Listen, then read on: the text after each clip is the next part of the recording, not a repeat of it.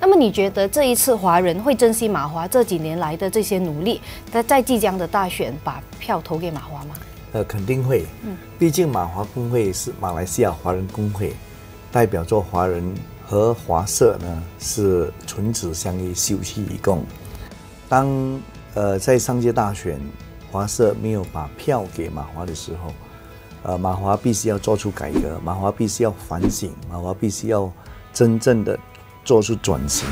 所以，在我领导下的马华已经推出了很多改革的方针。我们也从党内一直到党外，包括对政党外交跟中共签署合作备忘录等呢，这一系列的呃行动都证明说马华已经做出了革新。那么华社要看到是让马华能够做得更好。你认为为什么马来西亚的华人应该还要继续支持马华？而且为什么华人就不应该放弃马华呢？马华工会在这个国家建立了这个多元的体制。嗯。呃，我们要确保这个多元继续的传承下去，我们必须要有华人政治力量。嗯，所以给力马华，以便我们在政府的体制内能够发挥这个政治效果。一旦我们没有了这个华人政治力量在政府的体制内，我们就会被边缘化，我们被抛在后头。华人为什么只要给力马华，那么那么马来西亚就不会成为一个极端或者种族主义的国家了？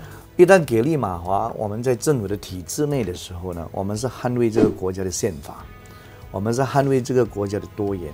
那么一般一旦这个国家要走种族路线、走宗教神权路线，我们马华就能够制衡。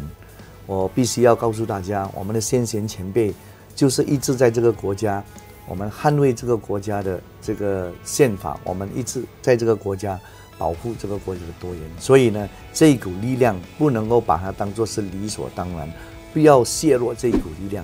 一旦削弱了，我们被放在政府的体制外，我们就会面对更严重的一个挑战。比如说，在二零一三年，我们离开那个，我们看到一旦离开那个过后呢，我们就没有华人代表权在政府的体制内。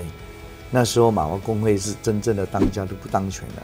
但是，一旦我们入阁的时候，我们就是当家当权。我们在政府的体制内，我们能够呢改变政府的各项重要的政策。比如说，第十一大马计划里头提出呢，所有的公司要有六十八线的这个员工是土著，这个发展商必须六十八线的这个房屋是土著。啊，那个我们在那个里面就推翻了这样的一个政策。啊，我们在善务法令的这个立场，我们怎样去阻止内阁阻止这个乌统？那么落实这个三五法令，这一些都是我们在过去在政府的体制内发挥的这个政治效果，所以政治力量太重要了，不要把它当做是一个呃一个所谓理所当然的这个问题。